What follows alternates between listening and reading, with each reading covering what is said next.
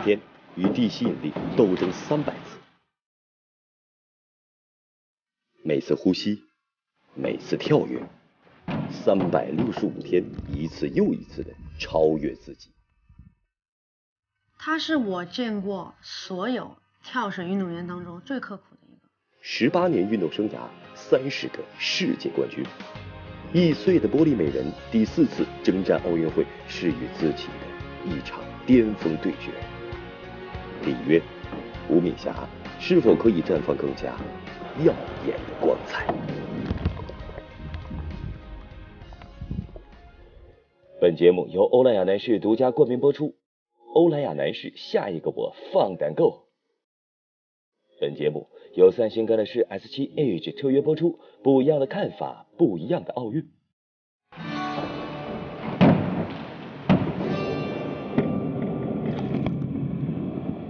二零零一年，国家队决定让吴敏霞和郭晶晶搭档三米跳板，备战世界游泳锦标赛。对于当时还是国家队一名新人的吴敏霞来说，感到了巨大的压力。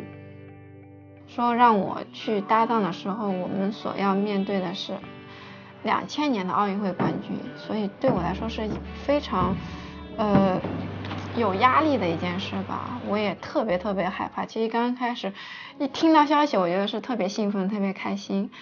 但是当你真正去配合的时候，你还是会紧张。多于这种高兴吧。第一次站上大赛舞台，第一次和郭晶晶搭档，还不到十六岁的吴敏霞将要面对的是悉尼奥运会冠军俄罗斯组合帕卡琳娜和伊琳娜。特别紧张，因为你每一跳，你如果有失误也好，跳步也好，跳不好就会影响到同伴嘛。因为双人毕竟是两个人的一种配合。在决赛第一轮比赛中，吴敏霞、郭晶晶稍稍落后于乌克兰和俄罗斯组合，但两人在技术动作和完成度上发挥很出色，并没有失误。而为了缓解吴敏霞的压力，郭晶晶一直在鼓励身旁这位第一次在世锦赛上亮相的小将。她更像大姐姐一样带着我，然后让我有更多的安全感。去更好的面对比赛。最终，吴敏霞、郭晶晶以三百四十七点三一分高出第二名二十七点一五分的优异成绩，战胜了奥运会冠军俄罗斯组合，登上了冠军领奖台。对我们来说，就是一种很大的突破，也是我觉得冲向梦想的一个起点吧，给了我很多的自信心。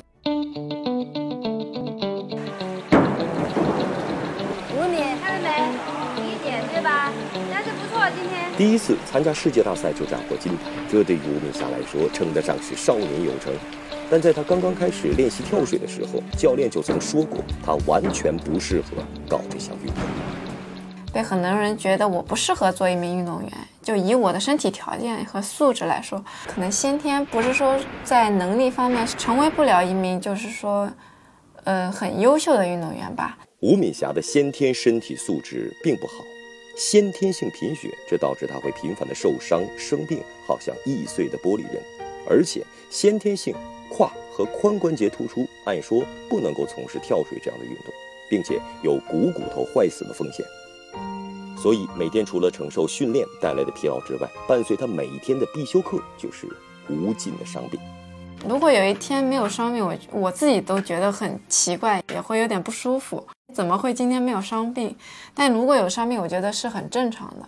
平时的伤病，吴敏霞都能咬牙坚持训练。而2007年，严重的伤病曾让吴敏霞一度中断训练。从年初到年尾，几乎就全是很严重的伤病。很想训练，但练不了。你的竞技状态就慢慢慢慢走下坡。然后看到别人在进步的时候，其实你内心是非常着急。年初崴脚，后来手腕、腰伤一个个袭来，一直没有训练。在三月份的墨尔本世锦赛前，吴敏霞竟称自己完全不会跳水了。当时去的时候是自己完全没有信心去参加比赛，就整个一个状态就真的就是，我觉得自己根本不像个中国跳水运动员，很糟糕。比赛一开始，吴敏霞和郭晶晶前两轮分别得到了五十五点二零分和五十九点四零分，以一百一十四点六零分排名第一。就是说，已经是发挥出我那段时间最好的水平了，所以自己也很满足。第三跳，郭晶晶和吴敏霞更是以一个三零五 B 反身翻腾两周半躯体，得到了八十一点九零分的全场最高分。嗯，自己卸下包袱以后，嗯，半决赛和决赛都算是发挥出自己的水平吧。遥遥领先的中国组合继续着出色的发挥，并以三百五十五点八零的总分轻松摘得金牌。也是很开心吧，我觉得能够顶过来的话，对我的成长过程中也是非常好的一次宝贵经验。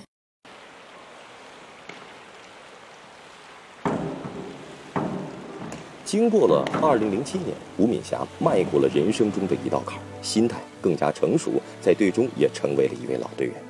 而对于她来说，因为郭晶晶的退役，自己迎来了新的搭档何姿，像两个人像朋友，因为我觉得技术上面的话，没有什么太大的差距。因为霞姐就是一个从来都是一个特别温柔的女 女孩，她一般我们最多的时候都是互相鼓励跟。比赛的时候的她给我传授的经验。作为新组合的第一次亮相，国际泳联跳水系列赛青岛站前三轮，两人发挥平稳，以将近二十分的优势暂时领先。然而，让人没有想到的一幕在第四轮发生了。吴敏霞因为走板踩歪了，整个脚掉了下去，没有完成动作。肯定会有一些遗憾吧，但我觉得这可能对我就是一种成长过程中的一种经验吧。吴敏霞就是这样在不断的面对失败、面对挫折的过程中，不断的强大着自己。一生中你遇到一些挫折，其实也是对于你的一个成长的过程吧。你如果嗯，能够跨过这个坎儿，凭你的本事跨过这个坎儿，我觉得就是对你自己的一种提升。一般都不会表现得很脆弱，就算你没有发挥好啊，或者是啊落败了，我觉得运动员就应该有这样的承受能力。历经挫折是迈向成功的最好磨砺。吴敏霞凭借着惊人的毅力和顽强的意志。在雅典、北京、伦敦三届奥运会上三次蝉联女子双人三米板的冠军，并在伦敦奥运会上斩获了女子单人三米板的冠军，成为了中国跳水队名副其实的一姐。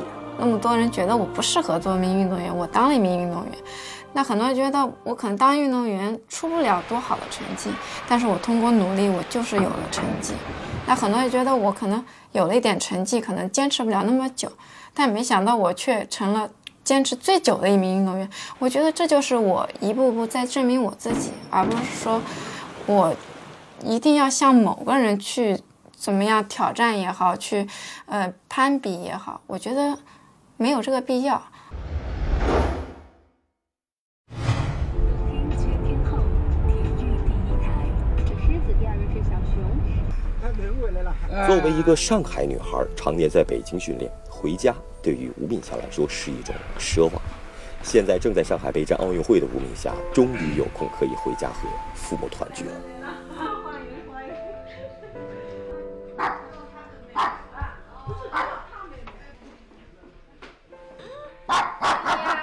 哎，主任，不要叫了，不要叫了。小小雪啊，他他这两天不舒服。嗯。我觉得每次回来都能看到他们白头发慢慢多起来，爸爸腰不好，妈妈身体不好。在这里心里，在国家队心里一样的，因为他也是没时间过来。就像你们有这样子情况，他过来一次，平时也是不回家。我觉得在他们眼里，我应该是贴心小棉袄。他们觉得有我这样一女儿，他们觉得非常骄傲。零九年、零八年以后的奖牌都是没地方放，就放在那个放在那个箱子里面保存下来。回到家中的吴敏霞话并不多，只是静静地坐在一旁，看着眼前的两位老人。在他们眼里，我可能一直就是刚去国家队那会儿十二岁的那个小孩儿。其实他们也是出于关心吧，但对我来说，我觉得。我已经长大，可以照顾好自己了。收拾好心情，重新踏上征途。三十一岁的吴敏霞选择了里约，不懈的努力都是因为当年教练的一句话。选择跳水练下去的话，其实对你，对你来说也好，对中国跳水来好，都是一种突破。那我觉得，在我身上能有这样一个机会去实现这样一种突破，那我觉得对自己来说也是一种奇迹。这是第四届奥运会了，非常不容易，因为毕竟年龄一天天的也大了，超过三十岁的运动员在跳水的运动史上面也是唯一的一个。他完全靠自己的毅力能够走到今天，看似好像时间越来越近，但是实际上是困难越来越大。就在吴敏霞全力备战奥运会的时候，二零一六年五月九号，吴敏霞在自己的微博晒出了一组自己右小腿受伤的照片，情况非常严重。坚强的玻璃美人并没有放弃，而是准备第四次踏上奥运的征途。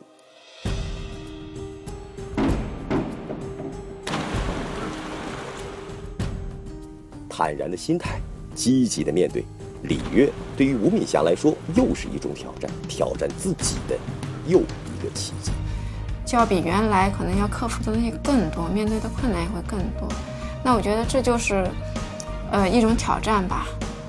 里约奥运会就是我现在的目标，那我就是去挑战一下吧。而对于未来，吴敏霞是这么规划的。能够更好的去发展对于跳水也好，对于体育也好，这些后备人才的力量吧，因为这也是对于中国体育的一个发展，积极的去参与到这个项目里来吧。